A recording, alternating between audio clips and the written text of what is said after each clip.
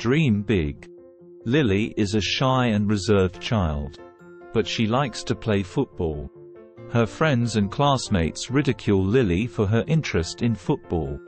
However, she is determined to pursue her passion and become a successful footballer. After returning from school every day, Lily quickly finishes her homework and plays football.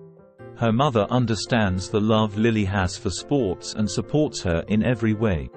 When school competitions are announced at school, Lily decides to participate. She participates in the selection tests and her classmates mock her once again. But they are amazed when Lily performs well and the jury select her to represent the school.